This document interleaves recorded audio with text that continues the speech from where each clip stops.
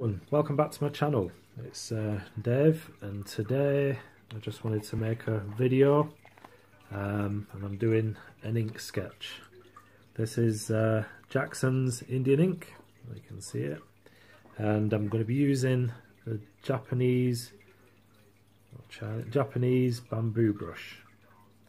As you can see I'll be using the, the brush end um, along with the ink just to give you a nice wash uh, so it's more of a tonal sketch. So let's get right into it.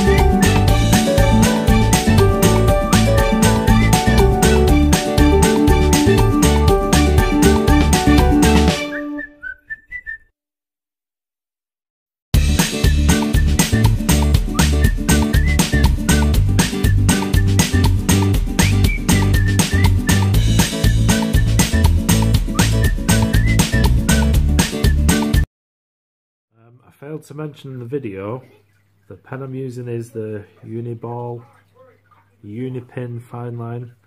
It's uh, waterproof, so obviously it does well with uh, watercolours. And the sketchbook I'm using is a Stillman and Birn. It's actually the Alpha, the Alpha series.